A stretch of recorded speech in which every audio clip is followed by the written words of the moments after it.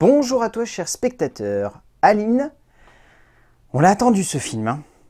C'est pas que ça fait euh, un an et demi qu'on en entend parler, mais quasiment. Et honnêtement, moi, je savais que le film sortira en salle, mais je commençais de plus en plus à me dire que vu que Gaumont a tendance à un peu refourguer les films qu'il n'arrive pas à sortir directement sur Netflix ou sur Prime Video, je me suis dit que ce film allait forcément finir par cette case si jamais il n'arrivait pas à trouver un bon créneau de sortie. Heureusement, il sort aujourd'hui dans les salles. C'est tout de même un projet très particulier, très atypique, mais qui ressemble exactement à ce que Valérie Lemercier adore faire au cinéma. Le résumé pour faire simple, dans les années 60, la famille Dieu donne naissance à sa petite dernière, une jeune demoiselle qui va prendre le nom d'une chanson de Christophe et qui semble promise à un destin unique, Aline. Je savais vraiment pas quoi penser d'Aline à la sortie de la salle. Euh, c'est un film très particulier. C'est un film qui a vraiment une, forme et une gueule très atypiques. On est sur un cinéma qui est je dirais pas expérimental, ce serait un petit peu barré de dire ça, même si Valérie Lemercier a toujours eu tendance à pousser son cinéma dans certains retranchements. C'est un film qui a une forme très évasive par de nombreux aspects. C'est un film qui cherche à traiter avec une certaine sensibilité et surtout beaucoup d'amour de Céline Dion. Mais c'est également un film qui cherche avant tout à raconter une histoire d'amour, de la manière la plus simple possible, en évoquant deux personnages que tout oppose, mais qui vont se retrouver dans un certain contexte et qui vont du coup devoir vivre avec ce contexte. Le film, du coup, qui en découle, a un rythme effréné. Réellement, c'est, ça part dans tous les sens. C'est un film de 2h06 et honnêtement, à aucun moment, j'ai eu la sensation que la fin approchait. C'est-à-dire que tout s'enchaîne de manière extrêmement cohérente et logique et en même temps, on a l'impression que tout va très vite. Trop vite peut-être par moment. Ce qui fait que du coup, on a du mal parfois à s'accrocher à un personnage ou deux et on se dit qu'on ne sait pas vraiment dans quelle direction va aller le film. Même si on arrive à visualiser le fait que c'est avant tout un récit romantique au cœur de la vie d'une femme.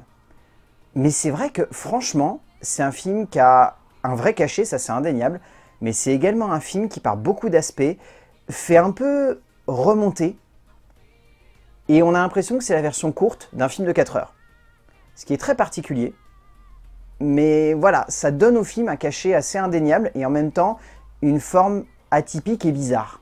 Les faux biopics sonnent comme un genre à part entière depuis maintenant un petit moment, entre les mains d'auteurs cherchant à explorer des choses surprenantes, mais surtout à mettre en scène de manière détournée des personnalités sortant de l'ordinaire et portant par là même une certaine vision du monde et de l'art. Valérie Lemercier nous propose ici une œuvre apportant clairement une perspective particulière à la chanteuse qu'elle décide de mettre en relief au cœur d'une œuvre qui a un cachet indéniable, mais une forme assez surprenante par de nombreux aspects, que ce soit dramatique, que ce soit artistique, que ce soit visuel ou simplement par le geste cinématographique qui en découle. En termes d'écriture, le film est écrit par Brigitte Buc ainsi que Valérie Lemercier. Le scénario, il est vraiment difficile à cerner. C'est un film qui veut raconter de manière fictionnelle la vie d'une vraie personne. Ce concept, je le trouve toujours très intéressant au cœur du cinéma parce que ça permet aux auteurs d'avoir une vraie liberté créative et en même temps de s'accrocher à un matériau de base qui leur permet de, on va dire, raccorder des choses un petit peu fantasques avec un certain réalisme et une certaine crédibilité. Clairement, le film ne peut pas être vu comme une comédie même si par beaucoup d'aspects, il a des tics de comédie qui sont très particuliers et qui ressemblent vraiment à ce que Valérie Lemercier adore composer en termes de comédie. je trouve ici que Brigitte Buc et Valérie Lemercier ont surtout un, un très bon comique de dialogue. Parfois un comique un peu poussif. Je pense par exemple à cette fameuse scène du Vatican qui a tendance à être un petit peu abusive, mais qui fonctionne en tant que telle. Et un peu à cette image, la comédie qui va être poussée au sein de cette écriture est vraiment une comédie de situation et une comédie où on joue à la fois avec l'accent québécois, mais également avec la position dans laquelle se trouvent les personnages. Mais, et c'est bon de le préciser, c'est vraiment un ressort qu'il y a en fond. La base même du long métrage est avant tout un drame romantique. Donc l'objectif, c'est de traiter le récit de deux personnages qui s'aiment dans un contexte où dans un premier temps ça va être compliqué, où ensuite ils vont être jugés, et où au fur et à mesure que le récit avance, on va se dire que cet amour est extrêmement logique, cohérent et clairvoyant. Donc c'est vraiment barré, parce que du coup, on va pas dans une direction où en tant que spectateur, on se serait attendu à aller. Et en même temps, on est loin du biopic classique comme on a l'habitude de le voir. C'est-à-dire que vraiment, en termes de pure narration, c'est un film qui va dans beaucoup de directions, qui explore quasiment, allez, fastoche, 50 ans de la vie d'une personne. Et au sein de ces 50 ans, il se passe énormément de choses.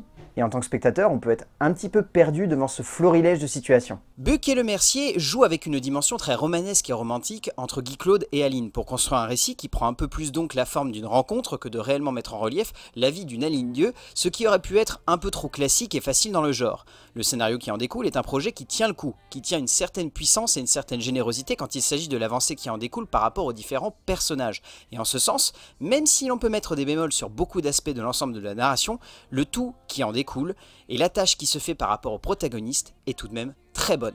En termes de mise en scène, et eh bien bizarrement, je trouve que la mise en scène a vraiment une optique de direction que je trouve très intéressante. Alors, je suis peut-être le seul à voir ça, mais je trouve que réellement, il y a un travail de mise en scène autour de l'échelle, vraiment de l'échelle des personnages, qui peut être vu de manière très intéressante. Pour autant, ça reste quand même très barré, et c'est vraiment peut-être une analyse que moi seul je vais avoir, mais j'ai trouvé que tout du long du film, il y avait un jeu que ce soit le jeu physique, avec l'idée d'avoir ce corps de jeune fille, mais la tête de Valérie Lemercier dessus, que ce soit au sein des décors, je pense notamment à une scène où on voit Aline en train de danser chez elle, où elle est surdimensionnée par rapport à la taille de plafond de son salon, et je pense à tout plein de petites scènes comme ça, où réellement on a un jeu autour de un personnage, une bâtisse, un personnage, un stade, un personnage, une maison ou un studio, et tous ces petits éléments-là font que la mise en scène de Valérie Lemercier me semble beaucoup plus intelligente que ce qu'on aurait tendance à imaginer face à un tel film. Et au-delà de ça, on sent qu'il y a une envie de créer de l'intime au sein de quelque chose de très grandiloquent. Parce qu'on parle quand même d'une des chanteuses qui, même si c'est une œuvre de fiction inspirée de la vie de Céline Dion, est l'une des plus grandes chanteuses de notre temps, encore en vie.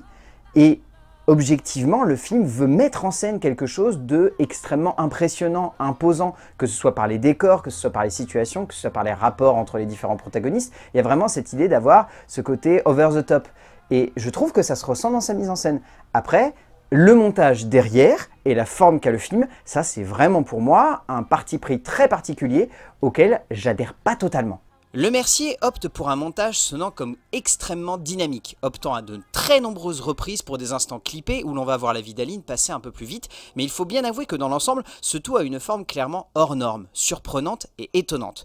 Du coup, bah, clairement, on peut comprendre les réticences que certains ont autour de ce film, dans le sens où il ne s'agit pas d'une œuvre classique par de nombreux aspects, c'est une œuvre romantique transcendée par un regard unique, celui d'une femme cherchant à en comprendre une autre, celui d'une femme cherchant à désacraliser son idole, celui d'une réalisatrice sur sa protagoniste. En termes de casting, celui-ci est vraiment excellent et je trouve tous les acteurs très bons, c'est bon de leur préciser.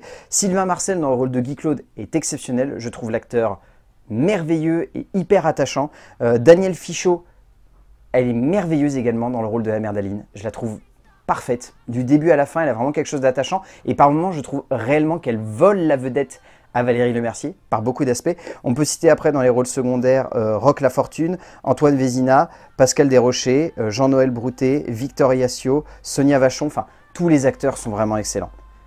Vraiment tous. Et je trouve qu'ils se donnent vraiment à fond pour faire vivre chaque personnage à l'écran et ça, rend l'histoire encore plus prenante. Et après, il y a cette actrice qui est, dans un premier temps, dans une situation un peu bizarre, et je dois avouer que les premières minutes du film m'ont un peu bloqué.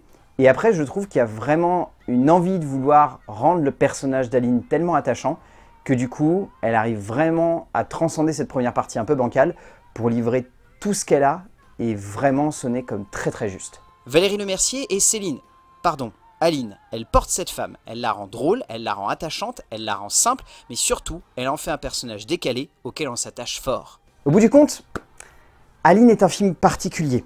Et je peux comprendre, et je le sais parce que je connais des personnes qui m'ont dit que c'était potentiellement l'un des pires films qu'ils aient vu de leur vie, je peux comprendre qu'on n'adhère pas forcément au délire parce que c'est très particulier et le long métrage a une forme assez atypique.